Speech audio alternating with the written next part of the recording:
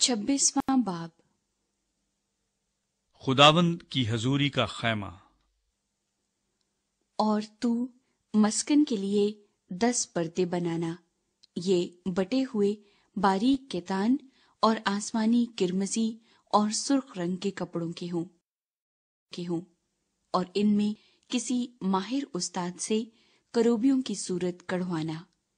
हर पर्दे की लंबाई अट्ठाईस हाथ और चौड़ाई चार हाथ हो, और सब पर्दे एक ही नाप के हों, और पाँच पर्दे एक दूसरे से जोड़े जाएँ, और बाकी पाँच पर्दे भी एक दूसरे से जोड़े जाएँ, और तू एक बड़े पर्दे के हाशिए में बटे हुए किनारे की तरफ़ जो जोड़ा जाएगा आसमानी रंग के तुकमे बनाना, और ऐसे ही दूसरे बड़े पर्दे के हाशिए में।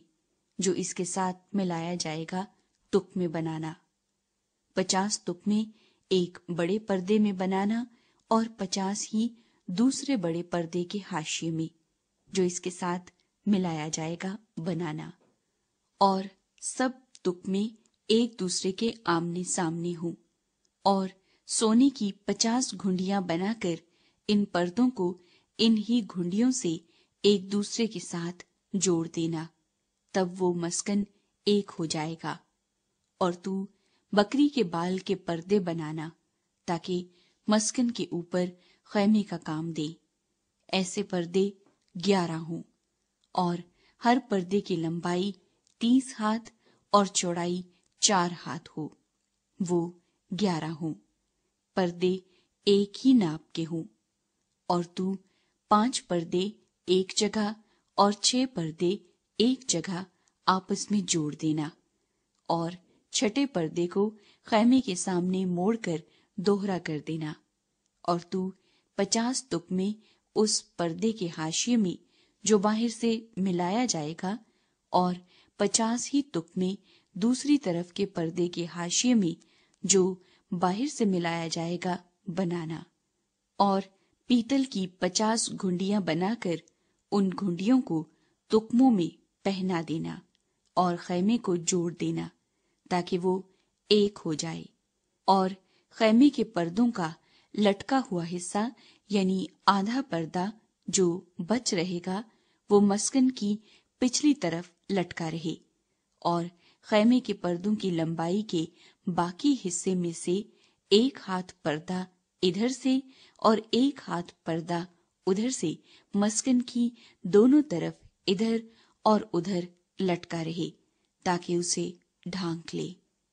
और तू इस खैमे के लिए मेंढों की सुर्ख रंगी हुई खालों का गिलाफ और उसके ऊपर तुखसों की खालों का गिलाफ बनाना। और तू मस्कन के लिए कीकर की लकड़ी के तख्ते बनाना के खड़े किए जाएँ। हर तख्ते की लंबाई दस हाथ और चौड़ाई डेढ़ हाथ हो। और हर तख्ते में दो दो चूल्हे हों जो एक दूसरे से मिली हुई हो। मस्कन के सब तख्ते इसी तरह के बनाना। और और मस्कन के लिए जो तख्ते तू बनाएगा, उनमें से बीस तख्ते जनूबी सिमत के लिए हों। और इन बीसों तख्तों के नीचे चांदी के चालीस खाने बनाना। यानी हर एक तख्ते के नीचे उसकी दोनों चूल्हों के लिए दो दो खाने। और मस्कन की दूसरी तरफ़, यानी शुमाली सिमत के लिए बीस तख्ते हों और उनके लिए भी चांदी के चालीस ही खाने हों, यानी एक एक तख्ते के नीचे दो दो खाने। और मस्कन के पिछले हिस्से के लिए मगरबी समत में छह तख्ते बनाना और उसी पिछले हिस्से में मस्कन के कोनों के लिए दो तख्ते बनाना। ये नीचे से दोहरे हों। और इसी तरह ऊपर के सिरे तक आकर एक हल्के में मिलाए जाएँ। दोनों तख्ते इसी ढब के हों। ये तख्ते दोनों कोनों के लिए होंगे। बस आठ तख्ते और चांदी के सोलह खाने होंगे। यानी एक एक तख्ते के लिए दो दो खाने। और तू कीकर की लकड़ी के बेंडे बनाना। पाँच बेंडे मस्कन के एक पहलू के तख्तों के लिए। और पाँच बेंडे मस्कन के दूसरे पहलू के तख्तों के लिए, और पाँच बेंडे मस्कन के पिछले हिस्से, यानी मगरबी समत के तख्तों के लिए, और वस्ती बेंडा जो तख्तों के बीच में हो, वो खैमे की एक हद से दूसरी हद तक पहुँचे। और तू तख्तों को सोने से मंडना, और बैंडों के घरों के लिए सोने के कड़े बनाना, और बैंडों को भी सोने से मंडना और तू मस्कन को उसी नमूने के मुताबिक बनाना जो पहाड़ पर तुझे दिखाया गया है। और तू आसमानी, अरगवानी और सुर्ख रंग के कपड़ों और बारीक बटे हुए केतान का एक पर्दा बनाना और उसमें किसी माहिर उस्ताद से करोबियों की सूरत कढ़वाना और उसे सोने से मंझे हुए कीकर के चार सतूनों पर लटकाना।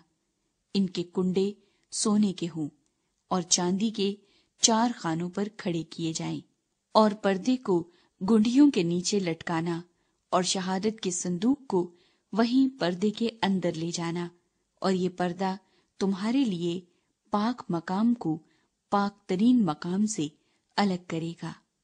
और तू सरपोश को पाक तरीन मकाम में शहादत के संदूक पर रखना और मेज को पर्दे के बाहर धरकर शमादान को उसके मुकाबिल मस्कन की जनूबी समत में रखना, यानी मेज शिमाली समत में रखना और तू एक पर्दा खैमे के दरवाजे के लिए आसमानी, अरगवानी और सुर्ख रंग के कपड़ों और बारीक बटे हुए कतान का बनाना और उस पर बेल बूटे कड़े हुए हों, और इस पर्दे के लिए कीकर की लकड़ी के पाँच सतून बनाना, और उनको सोने से मंडना और उनके कुंडे सोने के हों, जिनके लिए तू पीतल के पाँच खाने ढाल कर बनाना।